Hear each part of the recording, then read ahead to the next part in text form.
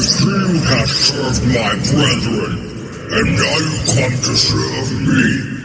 I am Hermaeus Mora. Past, present, and future are as one to me. My followers seek to perform our divination. For this, they need souls.